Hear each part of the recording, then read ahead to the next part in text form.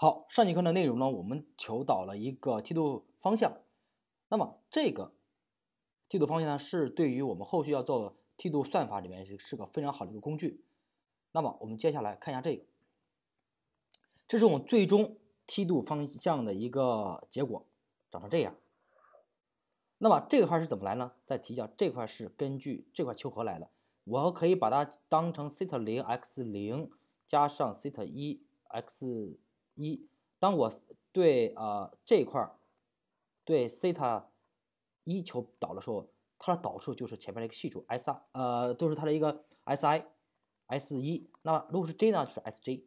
OK，那么接下来我们看一下下一章批量它的下降算法。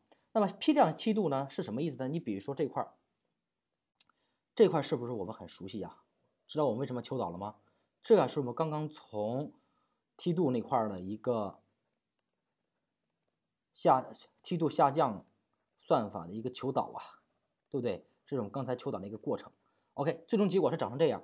那么前面还加上了一个 A，这记得是什么？A 代表一个学习率，或者叫什么访问步长啊？步长叫步长，它走多少个长度，一个部分卖多大，只是这玩意步长。那么这块呢，还有一个是呃 c 的 j，那么 c 的 j 加上呃阿尔法乘以这坨，那么这什么意思呢？比如说我想做一个什么意思呢？我让它得到一个，比如说，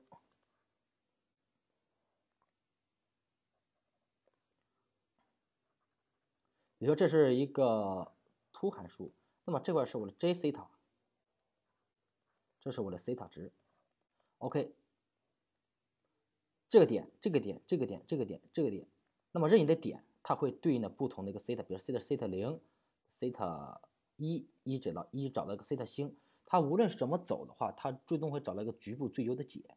那么局部最优解这块呢，是在这是什么意思呢？我当输入第一个西塔零的时候，那么这返回的什么？这是一。到输入西塔一的时候，这都是二。西塔三的时候，这就是四，这就是呃三，呃二的时候，这就是三，那么三呢就是四，对不对？这样叫做一个迭代过程，这属于批量梯度下降的一个算法。其中你如果是下降，这叫负梯度；你上升呢，就是个正梯度。OK，那么接下来这块呢，是我们这么一个解释啊，这个是我截的是吴文达那个讲义。那么这块的话，要呃，这里面除了它这个批量的话，还有一个要怎么解决批量下降的？比如这块是一个它的一个图示图，比如这个点到这个点到这个点到这个点，一到这儿就是我局部的一个最小值，对不对？西塔的局部的最小值。如果这是啊，它是个等高线嘛？如果这是四百的话，就是呃，比如说这是三百、二百、一百。或者是一直到一直到它，这是相当于一个等高线。那么这个山谷山谷的话，无论你是怎么走，一定要找到局部那个最低的点啊，最低那个西塔，从而找到最最低的西塔之后，我会找到最全局的一个最小值，对不对？全局的最小值。好，接下来随机梯度下降，SGD 随机下降。那么随机项这这块的公式也是，它是每一次迭代做一次循环。那么这块式子还是我刚才解这式子，只不过是它这的随机呢，它这随机是根据还是按据西塔西塔等于零的时候，这西塔会得一个呃西塔会这个西塔会得个一，得西塔等于一的时候，这会得一个二这么一个迭代关系。只不过说它是从一到一个 m，m 这是一个定值，也就直到最找到最合适的一个西塔，m 是个定值。那么从第一个西塔零开始，这是一，到最后一个西塔星，总能找到一个最合适的 z 西塔，西塔 j。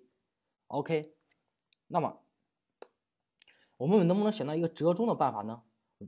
看这儿，如果不是拿到一个样本即更改它的梯度，而是拿若干个样本的平均梯度做一个更新方向，拿这个叫 mini batch 啊，mini batch 是折中那个梯度算法，它的算法。其中我们看一下它这个批量批量的话，这是个迭代；随机的话，它是从呃 set 零一直叫 set 一、set 二，一直到 set g，直到找到找到我们的最好、最小、最小、最小的一个最优解，还是局部的。OK，一是批量，一是随机，那么能不能拿个最最折中的方法呢？当然可以。你比如说，这是个列表，呃，这是呃一到十到二十到三十到四十到五十。OK，我这里面比如说有一共有五十个 theta，它属属于五十个。那么这个五十个里面呢？我先拿第一批的前十个来，这就是批处理嘛。先拿第一批的前十个，比如说 theta 一一直到 theta 十拿过来，然后放到我们的 GCT 里边，会求出一个值来。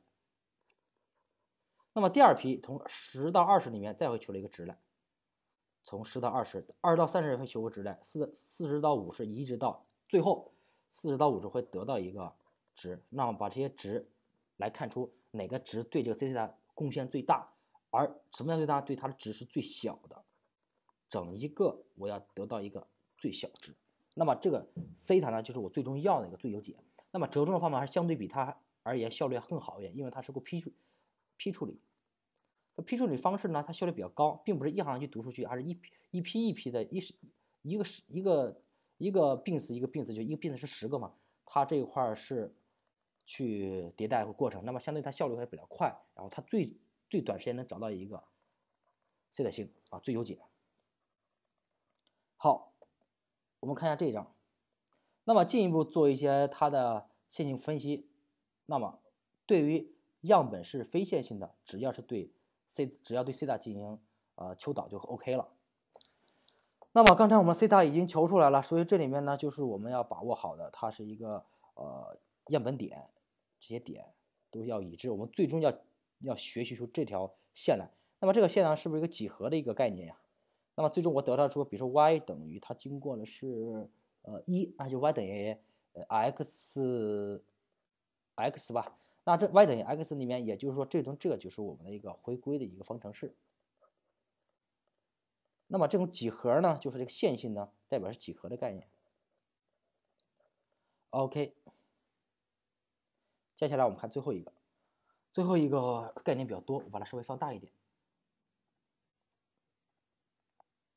我看看把放大一点啊。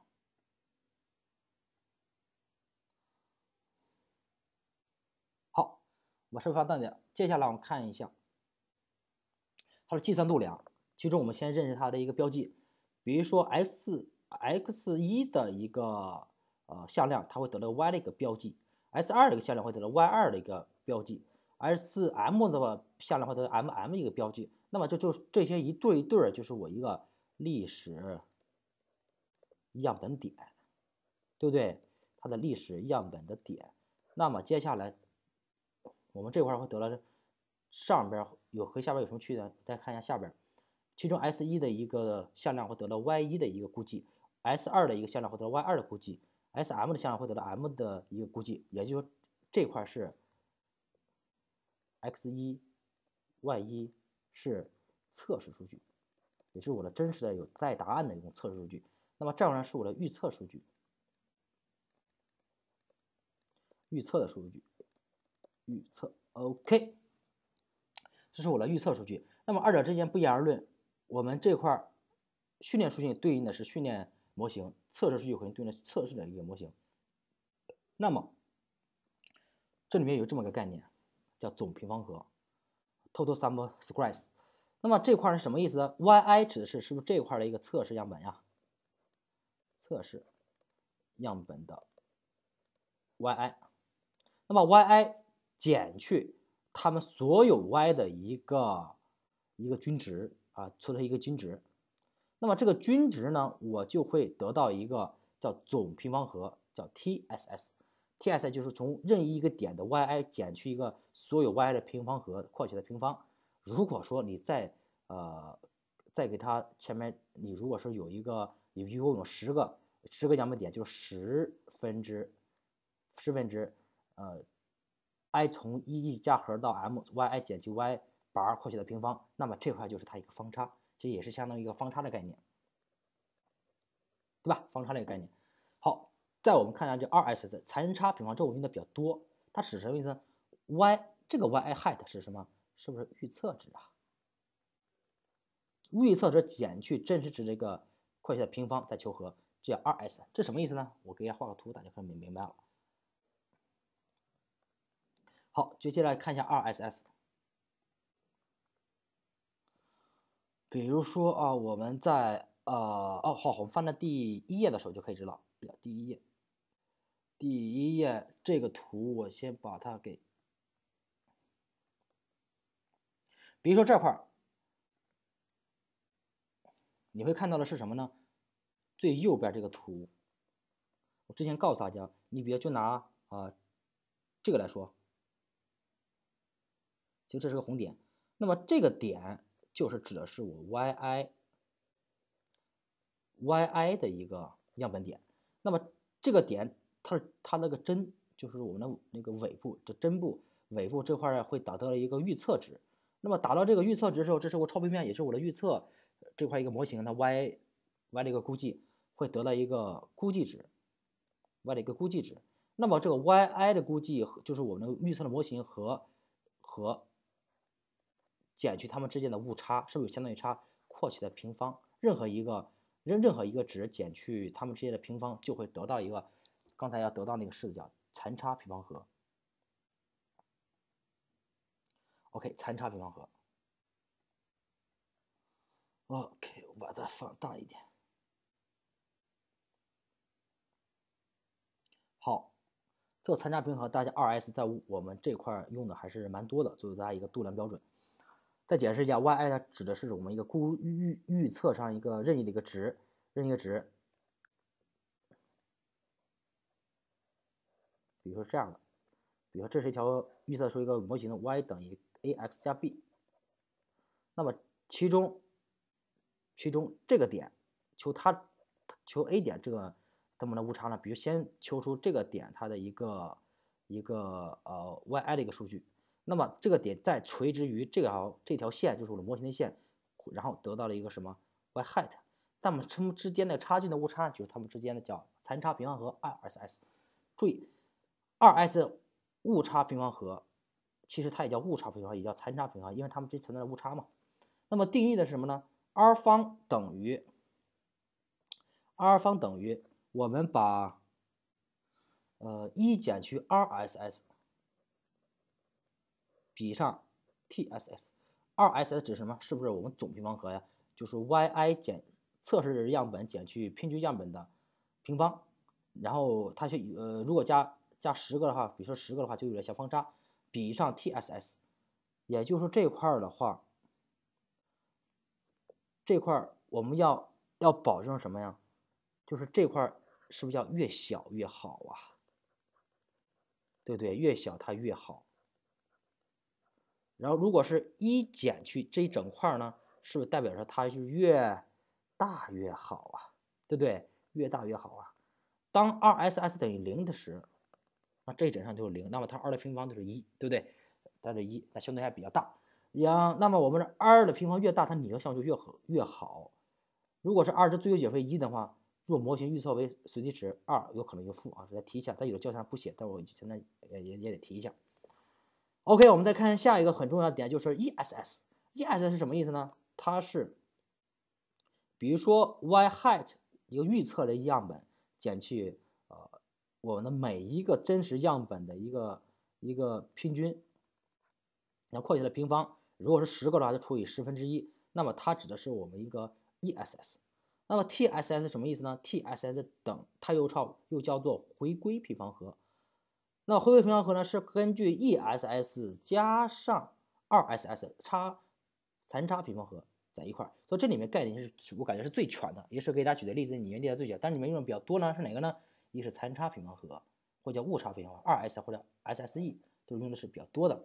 当然，这里面在科研里面还是用的也比较多，做每一个对量标准都有每个不同的意义。那么接下来呢，大家要啊把这个东西记得稍微全面也好。OK，那么我们今天的课程就是先这样，然后我们接下来会用代码的形式给大家再见。好，我们下节课见。